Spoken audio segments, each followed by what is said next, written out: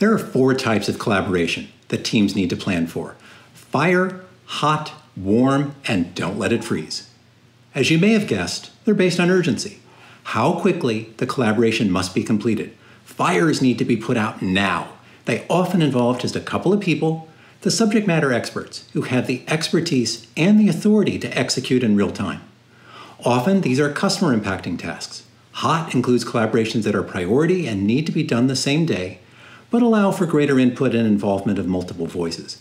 Warm collaborations are important, need to be done, but allow for the relative luxury of getting multiple people's insights and or having multiple levels of review.